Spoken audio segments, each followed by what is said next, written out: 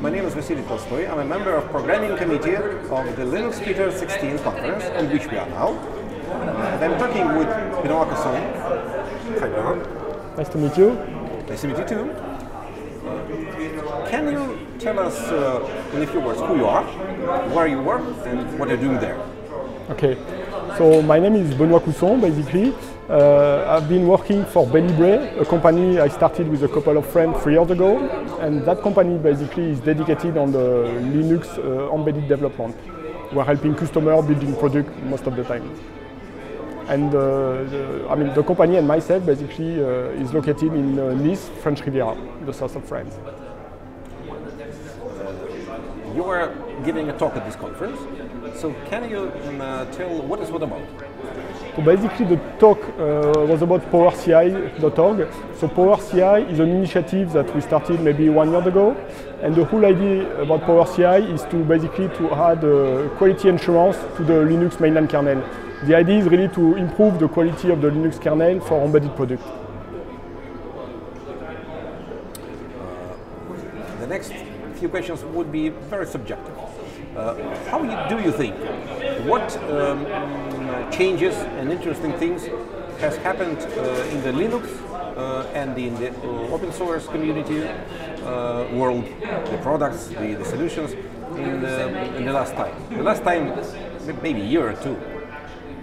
Wow, that's that's kind of tricky. Three years ago, it's a prehistoric time. The caveman, the Yeah. invention of wheel. You know, the world is changing fast. Well, okay. Uh, if I'm just talking about you know my domain, which is embedded world, and for example the the QA the QA we are doing right now, it's true that three years ago nothing was there, and then uh, Linaro starting doing kernel CI. Uh, Intel guys, I mean, starting doing a zero day, and basically today everybody, I mean, a lot of companies are trying to bring uh, Q&A infrastructure to improve the quality of the Linux kernel. And I mean, as of today, it's true that this is really one of the big improvements over the past three years. And uh, what do you think would be next? What, what is cooking? Wow, that's a, I don't know, that's a pretty interesting question. But if you look today, basically there are more and more devices around the world using Linux, so we can always improve the quality of the product. We can always build more product. Uh, in terms of infrastructure, I don't know. I mean, what is really? Uh, it's kind of hard for me uh, to answer. Sorry, I don't, I don't have any better answer. So you, you think that the, let's see, the progress actually happened and we are just uh, making the finishing touches? No, because that, okay, it's true that if you look, the devices we are building today, they are always, I mean, they, they are more and more complex. You know, the, if you look at the phone, I mean, 10 years ago, you know, compared to a phone uh, now, and clearly, I mean, the phone, I mean, that phones um, that will be done, I mean, five years from now, will be way more complex than what we are doing uh, right now. If you look the trend today as well, there are more and more, you know, uh, uh, virtual reality. There are, there are always a lot of super, you know, complex uh, hardware device that will require anyway uh, new Linux functionality as well. So it's, it's, no, it's true that the, the world is always evolving and there are always some new cool basically product out there. So and for that we need to the kernel I mean has to improve uh, itself as well to follow basically the trend. And uh, mm, if we mm, look at the situation with a wider angle, uh, uh, what uh, interesting mm, uh, maybe hardware devices, uh, well, uh, industry technologies, uh, just things or maybe ideas uh, uh, touched you last time? Which you considered this interesting, this something new, this will change the world? Or maybe just wow great thing i want this i don't have no any need for that but i want this Well, whatever if you look, uh, yeah, today, I mean, all the, you know, the helmet with uh, augmented reality or uh, this kind of product, I mean, are really can, you, can see that this is really, the, I mean, the, some of the future. I mean, a lot of application I mean, will be will be done using this kind of, uh, you know, of, of helmet or, or product. This is really, I mean, some area where uh, clearly there is a lot, a lot of things will happen. And I think if you look as well, I mean, the, the whole, you know, connected, I mean, everything is connected today. And uh, so you will, in your house, I mean, the house will really become smart, uh, smart home. There will be electronic and Linux everywhere. I mean, I can, I can anticipate that yeah, we will have more and more Linux toys somehow in our uh, home. going this way probably at some moment uh, you'll say uh, are you working with linux ah the linux the standard thing so it would be become boring but it will be the, our victory, ladies and gentlemen. And the victory has some boring part. Okay, uh, we are we're at the conference now, and uh, what is your uh, opinion? What is the reason of existence of a conference? Why it's important uh, to hold such events?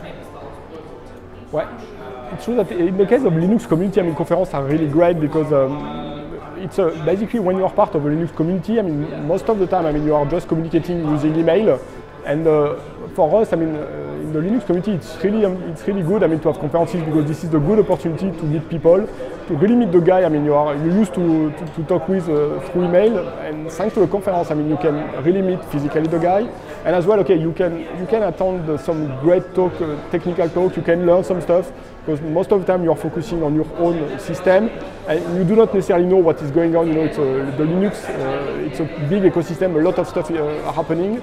And conferences are, are, good as well because you can see, I mean, that uh, some other people, what some other people are doing. And uh, that, that's good for that. And this is really the case, I mean, here as well. Yes. And uh, being, being specific, what uh, specific conferences would you recommend our viewers to attend uh, or to listen to or to view videos from? Well, okay, since we are mostly basically working on the, in the embedded space, it's true that today uh, two of the important conferences for us uh, are uh, Linux, uh, the embedded Linux conferences. So there is one uh, in US uh, at the beginning of the year and another one in, Europe at the end of the year. There are a couple of, but it's true that these conferences are kind of interesting because the, the, all the people who are working with are attending this conference. But it's true that they tend to become bigger and bigger, and sometimes I mean you, they're somehow losing, you know, the original, um, mm-hmm. you know, the original aspect for us is that you have sometimes some hard, hard, time to meet the people or to talk with the people you'd like to, to talk with, and true that. Uh, the, the, past three years, I mean, I've been attending uh, Kernel Recipes. So Kernel Recipes, it's a small, basically, uh, conference happening in Paris and it's a pretty good format because it's 100, it's uh, no more than 100 attendees.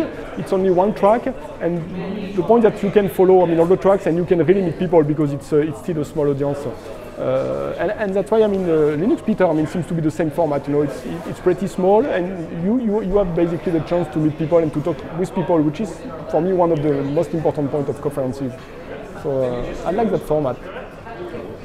And the usual personal question what uh, specific operation system is uh, on your home computer? I'm using Linux Mint. Oh. Yes, I've been using that for years. I used to have a Ubuntu, but yeah, I switched to Mint maybe two, three years ago. And yeah. why? Because Ubuntu at that time introduced Unity, and that's pretty bad user interface from my point of view. And uh, whereas Mint, I mean, was trying to somehow keep the usual way of uh, building user interface. So yeah, that's why uh, I switched to Mint, and I'm pretty happy with that. Thank you. You're welcome. Thanks a lot. Bye bye.